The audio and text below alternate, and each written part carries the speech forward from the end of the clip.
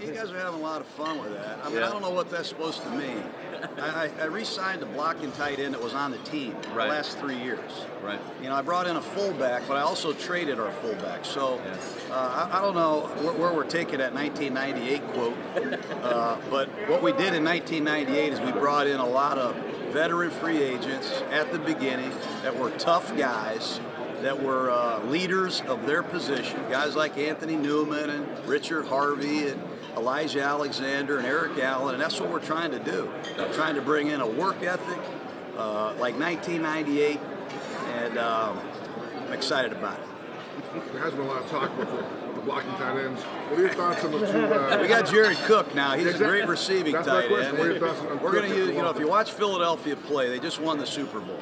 Uh, they used three tight ends a lot, and they drove defenses crazy. And sorry about that, but I like tight ends. They create a lot of unpredictability.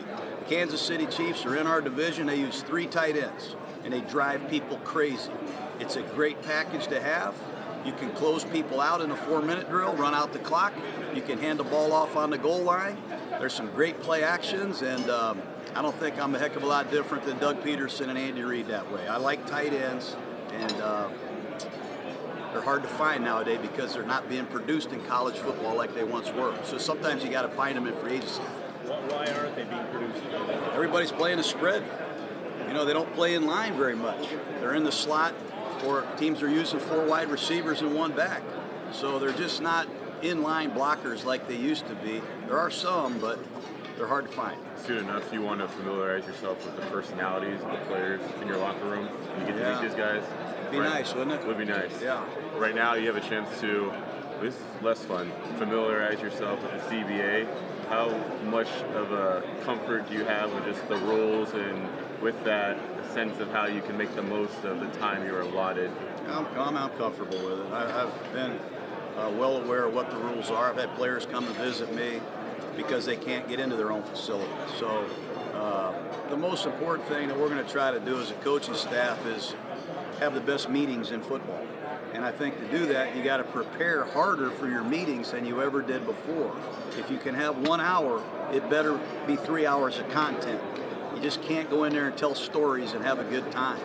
And when you're on the practice field, if it's two hours or if it's an hour and 56 minutes, every second has to be allotted for it. You got to move around from drill to drill. The players want that.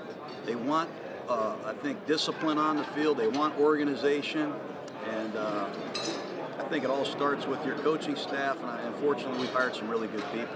Coach, you've uh, been behind enemy lines the last nine years and uh, got a unique perspective with 31 other organizations. Um, what kind of advantage is that going to be the second time around in Oakland? Because if you win games, you know, it, it's been obviously eye-opening to see some of the things that I've been able to see, some of the frustrations that coaches have, some of the facilities that teams have put in. Um, it's been been a great, I think, uh, tool, but it doesn't guarantee it wins. You know, it just heightens your imagination, gives you some thoughts maybe that other people don't have. I remember when I was coaching the Raiders, I always wondered what Marty Schottenheimer was saying to his team, what his facility looked like, and now I know. So uh, hopefully it'll help us in the strength and conditioning world. We can add a machine here or there. Uh, maybe we can upgrade a facility. Maybe we can put a drill in that I saw in Green Bay. Uh, knowledge is a powerful thing, and I've always tried to accumulate as much knowledge as I can, and uh, hopefully it's a tool. Uh, if there was uh, one rule or part of the game you could change to make it better, uh, what would it be? I just try to keep the game as much the same as it has been. You know, I don't I don't like a lot of these new rules. I don't understand them. It's getting awful technical. Um, I'd like to eliminate instant replay. Honestly, that'd be my number one thing. Yeah. Let the officials call the game, and um, that's just my opinion. I try not to play that game a wish list. You know what I mean? Right, right. Eliminating TV and having access to all those slow-mo replays. You would I think slow mo replay is the, is the biggest problem with replay. You know, when you're looking at is it a catch or isn't it a catch at that speed, it's hard to tell. You know, it really is hard to tell. Uh, so I think if you threw that slow mo out, I think you'd get back to common sense. You know, let the naked eye determine some of these some of these calls. But it always looks like pass interference when you're going that slow. It always seems to look a little bit more dramatic in slow motion, and sometimes it's not realistic. I don't think. Are you encouraged that the catch rule might be improved? What's no.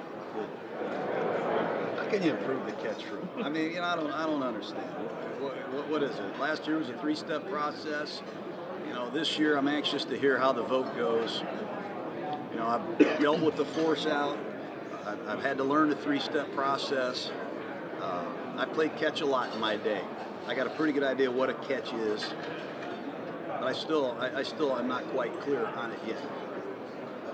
Rashaan Melvin, do you think he could be a guy that you can say that's your side of the field? Do you have that type of We're, we're going to see. You know, we haven't even had a practice yet. I've been a head coach for 70 days. I haven't even met any of my players. I've met these free agents more than I've met my guys. But if you watch Melvin play last year, was his best season. You know, they did ask him to uh, go with a specific receiver. I saw him go with Antonio Brown at times. He played left, he played right. I've seen him go in the slot. Um, we like him. I really like our secondary coach, Derek Ansley, who we got from Alabama. He's a perfect guy, I think, for Gareon Conley and Rashaan Melvin and hopefully some of the young secondary people that we bring in here. There have been very few people that have come into your building and not signed. Do you, do you, do you feel like you guys had a good recruiting? you come in, you don't get out. you know, the magical powers Yeah. of recruiting. You know, you know, it's it's been tough. You know, free agency. Sometimes you want to go after door number one, but you don't you don't have the you don't have the, the resources to do that. Right. And you know, we didn't feel like we needed to bring in three players. We felt like we needed to bring in a lot of players. We had a lot of needs, and uh, I think we said that in Indianapolis. Our secondary was decimated. You know, our linebacking core, we didn't have any numbers. Two of our defensive linemen were free agents. A lot of issues, we tried to bring in a lot of players, and our success rate was pretty good when we got them in the building.